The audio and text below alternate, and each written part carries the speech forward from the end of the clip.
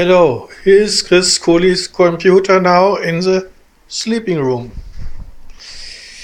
Now you see here the compact case, some um, empty discs, and I show you the back side of my case. Much cables and cords. Here's the webcam and the remote for several devices of my living room.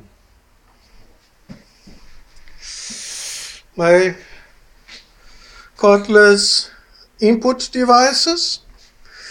There is a cord for the cable uh, for the for smartphone and here's the code which I will upload the video to the computer.